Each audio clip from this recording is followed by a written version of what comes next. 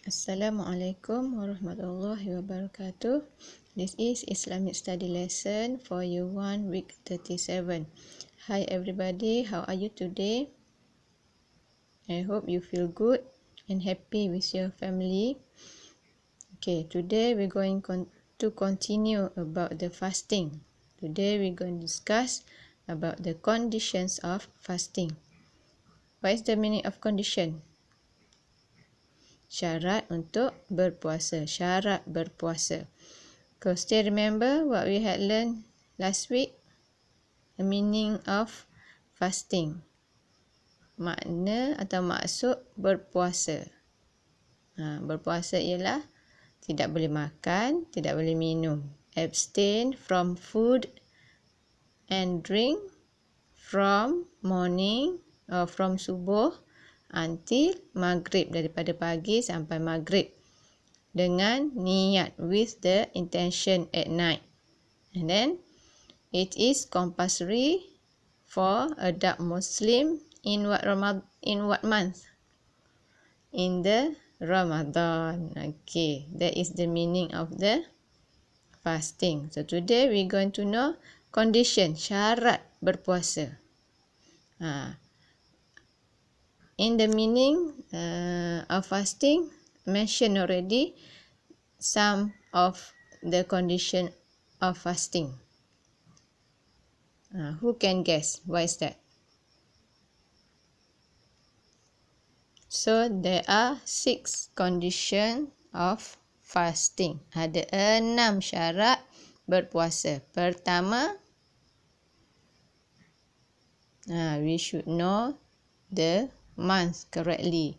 So what month we must fast? Compulsory fasting is in the month of Ramadan. So bila dah tahu masuk bulan Ramadan, kita kena berpuasa. Okay, here number one. Correct month. We need to know the month correctly before we fast. Okay, number two.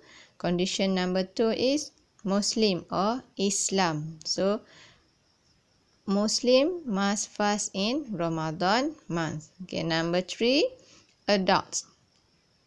Uh, orang yang dewasa, perempuan dan lelaki dewasa must fast.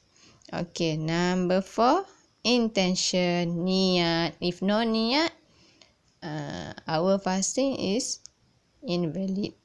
Okay, the number five is being sane. Sane mean uh, healthy. Uh, it's not crazy. Okay, if you see crazy people, so that is not uh, he is not allowed to fast. Okay, understand? Okay, and the last one being free from height or nifas. Uh, this condition for female only. Only female we get a period and delivery baby. Uh, so if girl or our mother, our sister have this uh, condition, they no need to fast. Understand? Okay, so there are the conditions of fasting. I hope you can understand. Okay, here here is a exercise for you. You can copy in your exercise book with uh, parents guidance. Match correctly to the conditions of fasting or unconditional fasting.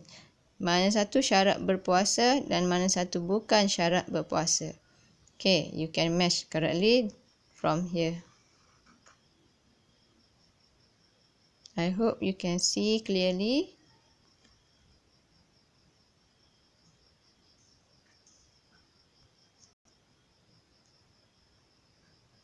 That's all for today. Thank you. Assalamualaikum and happy fasting.